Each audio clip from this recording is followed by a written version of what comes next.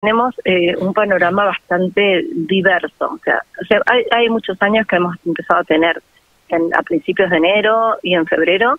La gran mayoría de los años empezamos alrededor de marzo con casos, pero eso es muy variable y varía de la situación climática de mosquitos y a la situación también eh, regional. Sabíamos que hay dengue en eh, Brasil, en Bolivia, hay chikungunya en en, en, perdón, en Paraguay, con lo cual estábamos alertas de que iba a ser un año de dengue y ya hace un par de semanas que estábamos en conocimiento que en provincia de Buenos Aires, ciudad de Buenos Aires, Córdoba, habían empezado a aparecer algunos casos. Mañana va a sacar Nación, tengo entendido, un comunicado porque hay varias provincias que están en una situación como la nuestra. Con lo cual, este año se ve que va a ser un año de circulación de dengue más fuerte, no como el año pasado y el anteaño, que recordemos que tuvimos poquitos casos, el año pasado hubo solo en Rafaela, el anteaño pasado solo en San Cristóbal y el resto de las localidades estuvieron más tranquilas. Este año probablemente sea más fuerte, esperemos, depende de de todos el dengue, porque es imposible a veces que nosotros desde salud o desde los municipios poder controlar la casa de, de todas las personas. Entonces nos, depende de todos en cuidar de no tener recipientes en nuestro domicilio porque realmente el mosquito se cría en nuestro domicilio y no en la zanja de la esquina ni en la laguna. Son mosquitos diferentes. Es un mosquito chiquitito que se cría en el domicilio. Entonces, todos somos responsables de intentar tener menos mosquitos. Cuanto menos mosquitos haya, menos casos de dengue vamos a tener. Doctora, más allá de esta circulación ya viral en la zona del Departamento General Obligado y solamente un caso en la localidad de Ceres, sí eh, del Departamento San Cristóbal, que este sí está determinado como importado.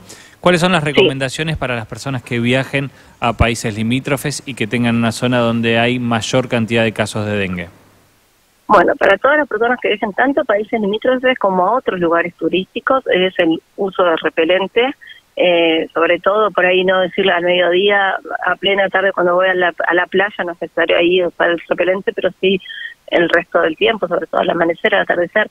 Si voy a algún lugar eh, en la casa, sobre todo, sea, a casa de familia, hotel, lo que sea, que tengan telas mosquiteras, llevar tabletas, algo para evitar la picadura de los mosquitos en los domicilios, porque ahí es, no es en la playa donde me va a picar el mosquito, sino en, en el lugar donde esté durmiendo, ahí es donde me van a picar los mosquitos, donde tengo que usar el repelente.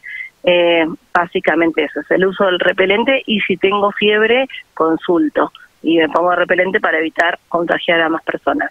También consulto a la vuelta. Recordemos que una vez que empiezo el mosquito, una vez que me picó, puede pasar hasta 15 días para que yo tenga síntomas. O si yo vine hace dos semanas de vacaciones y empiezo con fiebre hoy, puedo pensar que puede ser dengue o alguna enfermedad, otro arbovirus que le llamamos la chikungunya, zika, también sigue habiendo en otros lados.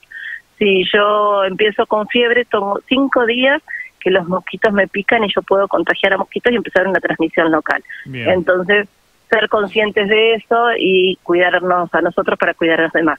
Bien, doctora Carolina Cudos, muchísimas gracias por su tiempo. Bueno, gracias a ustedes. Hablábamos con la doctora, muchísimas gracias, hasta luego. Hablábamos con la doctora Carolina Cudos, directora de epidemiología de la provincia de Santa Fe, por estos 10 casos confirmados de dengue en la provincia de Santa Fe. Nueve de, nueve de ellos en la localidad de Las Toscas del Departamento General Obligado sin antecedente de viaje y es por eso que hablamos de la circulación viral de dengue en ese departamento y un caso confirmado en Las Toscas en el departamento San Cristóbal que este caso sí es importado de la provincia de Misiones. Vendemos y volvemos con el tramo final de Pasan Cosas. Aire de Santa Fe, el gran multimedio de Santa Fe. Disfruta del verano. Con GigaRed, conectate a la internet más rápida con TV digital y con espacio Giga para que puedas ver contenidos exclusivos desde cualquier lugar. Ingresa a www.gigared.com.ar, elegí tu pack y refrescate con GigaRed. Son solo seis pasitos, Kini 6.